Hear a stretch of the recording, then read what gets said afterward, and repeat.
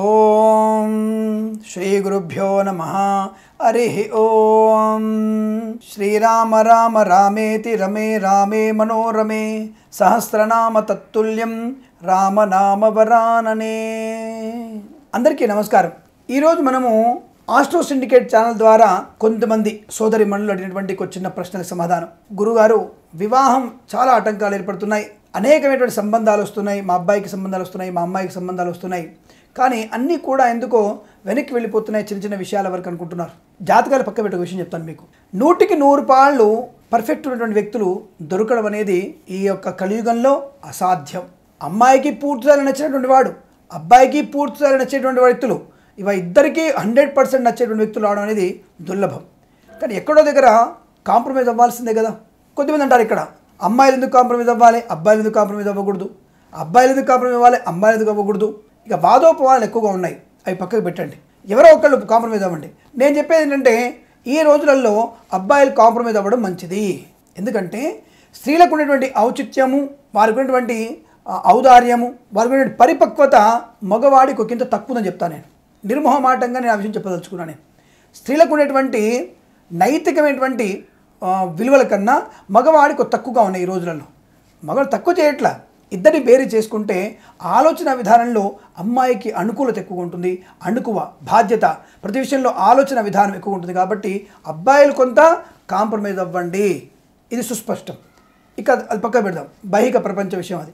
ఇక జాతకాల విషయంలోకి వచ్చేసరికి ఎందుకు గురుగారు మా అమ్మాయికి వివాహం ఆలస్యం అవుతుంది అబ్బాయికి వివాహం ఆలస్యం అవుతుంది అంటే ముఖ్యంగా అమ్మాయిల విషయం తీసుకున్నట్టయితే వివాహాలు ఆలస్యం అవుతున్న వాళ్ళు మీ జాతకంలో చంద్రుడి యొక్క దోషం ఎక్కువగా ఉండి ఉండాలి. సప్తమ స్థానంలో అనగా జన్మ లగ్నం నుంచి సప్తమ స్థానంలో కనుక చంద్రుడు దోషకారకుడైనా చంద్రుడు బలం లేకపోయినా అందుకే అంటారు చంద్రబలం అనేది ఒకటి ఉంటుంది. ఈ చంద్రబలం లేకపోయినా వివాహం ఆలస్యం అవుతుంది. ఆలస్యం అవడం కాదు ఆటంకాలు ఏర్పడతాయి. దీనికి ఏం చేయాలి?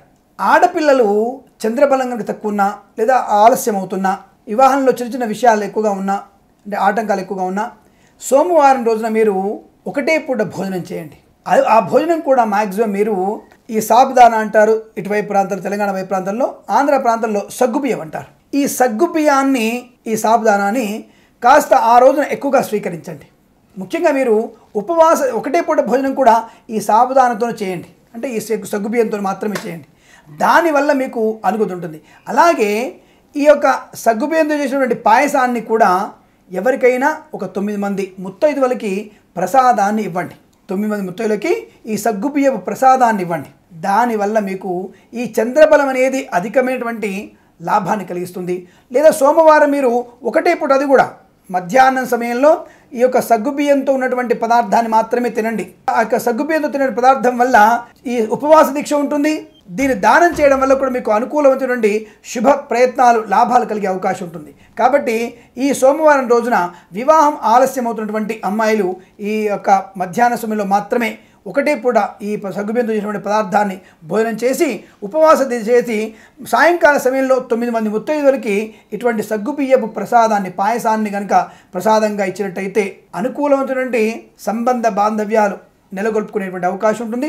తప్పకుండా మీకు సకాలంలో సంపూర్ణటువంటి మంచి వ్యక్తితో మీకు వివాహం జరిగే అవకాశాలు తప్పకుండా ఉంటాయి. ఇక మగపిల్లలు ఏం చేయాలి? శనివారం రోజు దీక్ష చేయాలి వీరు. శనివారం రోజున బెల్లపు అన్నాన్ని కనుక వీరు కూడా మగపిల్లలు కూడా శివాలయంలో స్వామివారికి నివేదన చేసి బెల్లపు అన్నాన్ని శివాలయంలో అంటే బెల్లపన్నం అంటే బెల్ల పాయసాన్ని శివాలయంలో స్వామివారికి మీరు తప్పకుండా స్వామివారికి నివేదన చేసి అక్కడ అందరికి కూడా ఈ యొక్క నివేదనని పంచినట్టయితే అనుకూలవంతమైనటువంటి సంపూర్ణమైన మంచి వ్యక్తి ఉన్నటువంటి ఆడపిల్లతో మీకు వివాహం జరిగే అవకాశాలు ఉంటాయి. అంటే మంచి కన్యతో మీకు వివాహం జరగడానికి అవకాశం ఉంటుంది. ఇలా శనివారం రోజున మగపిల్లలు సోమవారం రోజున ఆడపిల్లలు కనుక ఈ యొక్క ప్రసాదాన్ని వితరణ చేసినట్టయితే మంచి సంబంధ బాంధవ్యాలు నెలకొల్పుకుంటారు. సకాలంలో వివాహం అయ్యే అవకాశం ఉంటుంది. ఈ సంవత్సరంలో చేసి చూడండి పదకొండు వారాలు చేయండి పన్నెండో వారం కల్లా మీకు వివాహం అవ్వడం తథ్యంగా చెప్పబడుతుంది. సర్వేజన సుఖినో భవంతు కళ్యాణమస్తు.